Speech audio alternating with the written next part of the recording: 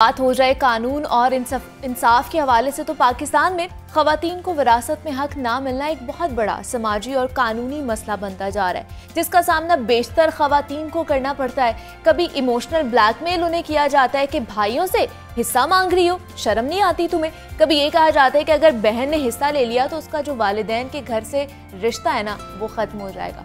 इस समाजी प्रेशर की वजह से अक्सर खातन अपना हक नहीं मांगती और भाई बिन मांगे विरासत में उन्हें हिस्सा नहीं देते।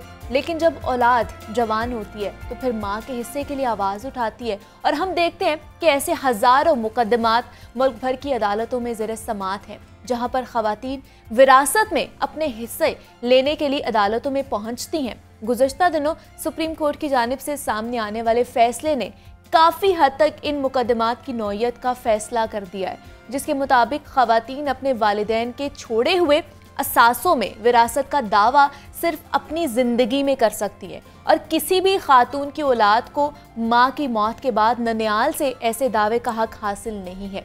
पाकिस्तान में विरासत के हवाले से कई कवानून कवानीन मौजूद हैं, लेकिन हक की तलाफ़ी अभी भी बहुत पेचीदा मामला बनता है। विरासत में ख़वान का हक क्या है और इसको हासिल करने का तरीका क्या है? और सुप्रीम कोर्ट का जो फैसला आया है उसके क्या असरात साबित हो सकते हैं? इन सब मामला पर आज हम बात करेंगे। हमारे साथ इस वक्त मौजूद हैं सहर जरीन बंदियाल हैं माहिर कानून है। सहर मैं आपको खुश आमदीद कहती हूँ। जागुलाहौर में कैसी आप? थैंक यू सहर जिस तरह मैं बात करी थी कि विरासत में ख़वान का हक है लेकिन बहुत सारी हमने ऐसी भी ख़वान देखी हैं और आपने भी ऐसे केसेस देखे होंगे जिनको विरासत से निकाल दिया जाता है या उनको विरासत में हक नहीं दिया जाता तो जायदाद में उनके हक के हवाले से हमें बताइए कि हमारा कानून क्या कहता है क्या क्या हमें हक मौजूद है देखिए 1937 और 1962 के बाद तमाम जो इनहेरिटेंस के मामले हैं हम्म। मुसलमानों के वो शरीय के मुताबिक डिसाइड किए जाएँगे। ठीक है। उससे पहले कुछ लॉ था कि रवाज के मुताबिक भी सक्सेशन होता था हम्म। विरासत को तकसीम किया जाता था। मगर अब स्ट्रिक्टली विरासत शरिया के मुताबिक डिसाइड की जाती ठीक है। तो सुन्नी और शिया का जो विरासत का कानून है थोड़ा मुख्तलिफ़ है। ओके। ठीक है? सुन्नी लॉ के मुताबिक अगर आपकी सिर्फ़ एक बेटी है तो वो उसको आप आधा हक मिलता है हम्म। आधी जायदाद मिलती ठीक है। बाकी वो आपके बाकी मेल रिश्तेदारों की तरफ़ चली जाती है। अगर दो बेटियाँ हैं तो टू थर्ड यानी कि दो तहाई हिस्सा दिया जाता है।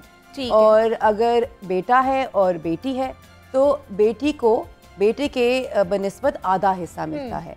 मगर ये डिसाइडेड शेयर्स हैं जो कि सूरा निसा की आयत नंबर 11 के अंदर हम्म। कुरान करीम ने खुद ही डेजिग्नेट कर दिए गए हैं।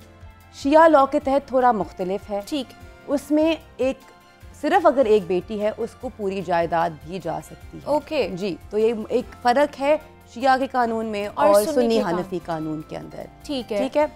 तो ये लॉ है। हम्म। शरिया के मुताबिक हर औरत को उसका हक दिया जाना दिया चाहिए। जाना चाहिए बिल्कुल ऐसे और 2011 या 12 में पाकिस्तान पीनल कोड में सेक्शन 498 प्रोमलगेट किया गया। हम्म। जिसमें ये बता दिया गया कि अगर एक औरत को उसकी विरासत से ज़बरदस्ती निकाल दिया जाए तो वो एक क्रिमिनल ऑफेंस है।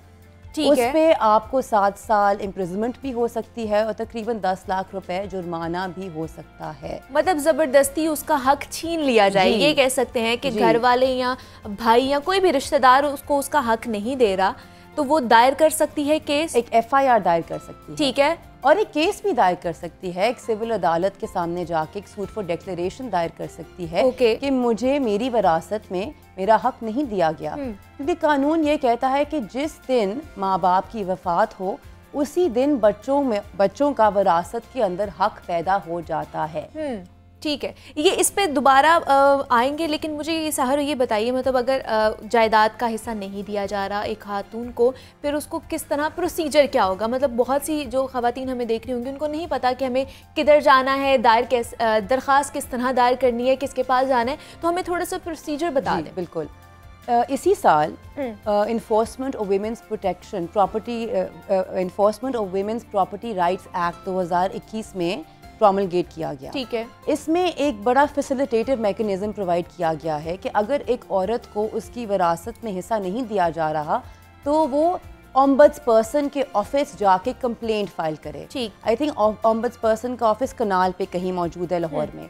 वो कंप्लेंट फ़ाइल करे ऑम्बड्स पर्सन इंक्वायरी शुरू कराती है या कराता है उसमें फिर रिपोर्ट सामने आती है और फिर डीसी को भी इन्वॉल्व किया जाता है, है। और कानून के फ़र्क आर्म्स के तहत पुलिस के तहत ये इंश्योर किया जाता है कि औरत को उसकी जायदाद फराहम की जाए रेवेन्यू रिकॉर्ड्स में उसका हम्म। नाम तब्दील किया जाए। अब ये सब कुछ हो सकता है कोर्ट जाने के बगैर। ठीक है ये बगैर भी हो सकता है बगैर भी हो। सकता है। आपको ज़रूरी नहीं है कि आप अदालत जाएँ। ठीक है। ये 2021 में एक लॉ लाया गया है जिसके तहत ये फैसिलिटेटिव मैकेनिज्म प्रोवाइड किया गया है। हम्म। दूसरा तरीका मतलब ये इससे पहले नहीं था। जी ऑम्बड्स पर्सन के दफ्तर में जाना हाँ। ये ये जो ऑप्शन है ये पहले ये नहीं पहले नहीं था ये अब लेकर आया अब लेके आए गए। मगर जो वैसे ऑप्शन हमेशा थी हम्म। वो ये है कि आप अदालत में अदालत जाते जाके हाँ। आप एक सूट फॉर डेक्लेरेशन दायर करें। हम्म। कि जी ये ये मेरी विरासत थी ये मेरा हिस्सा था इस प्रॉपर्टी में मेरा हिस्सा नहीं दिया जा रहा। ये आप डिक्लेयर करें ये मेरा हिस्सा है और जो तमाम लैंड रिकॉर्ड्स हैं उसमें मेरा नाम दायर किया जाए। हम्म, ठीक है। और अगर इसके बाद अगर अदालत का रुख किया जाए अगर वहाँ से नहीं मिल रहा हमें हिस्सा अदालत का रुख किया जाए तो वहाँ पर कितनी देर में हमें फैसला मिल जाएगा जायदाद के हवाले से? देखिए जी प्रॉपर्टी डिस्प्यूट जो जनरली अदालत में काफ़ी टाइम लगता।